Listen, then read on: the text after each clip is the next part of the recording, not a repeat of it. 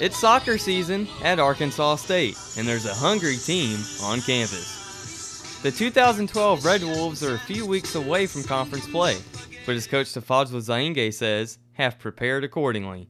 We've played teams like Memphis and Indiana that are way much better than us, and they will reflect the performance of teams like uh, Florida International and Middle Tennessee. Some of these numbers probably look familiar, but Coach says stardom doesn't describe his team. We don't really have a superstar on this team. We're real blue collar and we depend on each other. When I say depend on each other, I'm talking about all 23 players. They also depend on the support of the fan base, one that sparked ASU to an undefeated record at home, seeing the Red Wolves outscore opponents 16 to 1.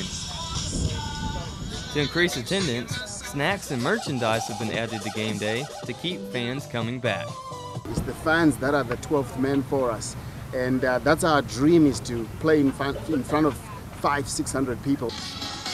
The team has serious buzz after its 5 and 2 start, but coach keeps them grounded.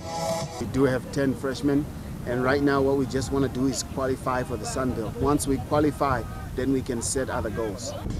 With ASU setting goals and scoring them, they could run right into a Sun Belt title.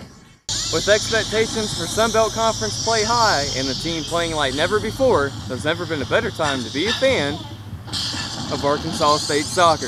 Reporting for ASU TV News, I'm Cody Dertow.